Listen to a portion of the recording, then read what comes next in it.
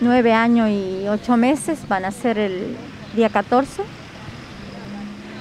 Eh, una causa que desde un primer momento está, se vio que hay total impunidad, tres poderes del Estado involucrados en la, en la muerte de mi hijo.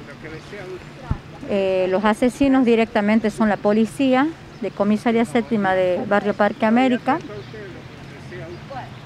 pero eh, ellos están involucrados, ¿por qué, ¿por qué se lo digo? Porque eh, siempre conocieron, ellos nos visitaron, la gobernadora Lucía Corpasi, Raúl Jalil y toda la comitiva nos visitaron y saben, saben que, que, cuál es la situación de lo que pasó con mi hijo.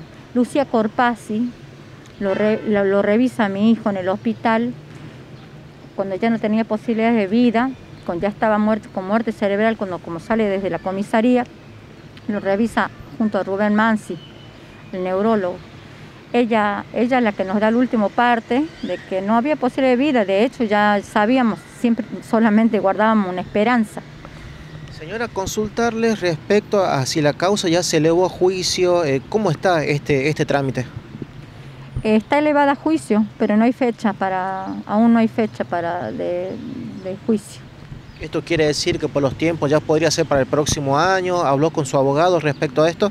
Sí, es muy probable que quede para el próximo año, porque eh, justamente fui hace un par de días a entregar una nota para que se agilice el, trámite, para que eh, nos den la fecha de juicio y nos dijeron que por ser un expediente tan grande, eh, aún no terminan de revisarlo y, y, bueno, es muy probable que quede para el próximo año.